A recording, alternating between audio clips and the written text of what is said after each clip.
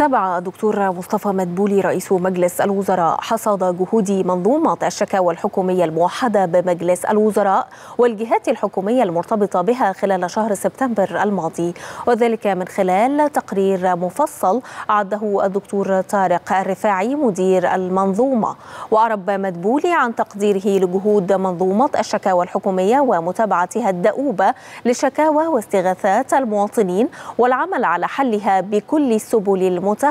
بالتنسيق مع جميع الجهات الحكومية مشددا على استمرارية التعامل الجاد والفعال مع الشكاوى التي يتم تلقيها عبر المنظومة وضرورة اهتمام المسؤولين بمتابعة الشكاوى المسجلة ومعالجتها لخدمة المواطنين. فيما أكد الرفاعي أن المنظومة رصدت 170 ألف شكوى وطلب واستغاثة خلال شهر سبتمبر المنقضي من خلال قنوات تلقي ورصد الشكاوى والطلبات والاستغاثات موضحا أنه بعد المراجعة والفحص المبدئي للشكاوى والطلبات تم توجيه 142 ألف شكوى لجهات الاختصاص المختلفة المرتبطة بالمنظومة إلكترونيا وحفظ 24 ألف شكوى وجاري استكمال مراجعة واستيفاء بيانات 4000 شكوى لاتخاذ ما يلزم بشأنها.